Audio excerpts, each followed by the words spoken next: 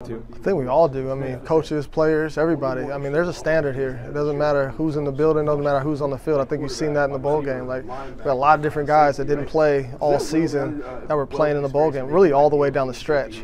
So it don't matter if you're a walk-on, doesn't matter if you're a scholarship guy, doesn't matter if you're a new coach, an old coach. Like, there's a standard, and if you don't live up to that standard, then you don't need to be here, pretty much. And and so that's what we're all excited to do because everybody knew those names because they had success on the field. But two years ago, those guys didn't have success on the field. Nobody knew who those guys were, and they stepped up and made a name for themselves. And so there were some expectations last year.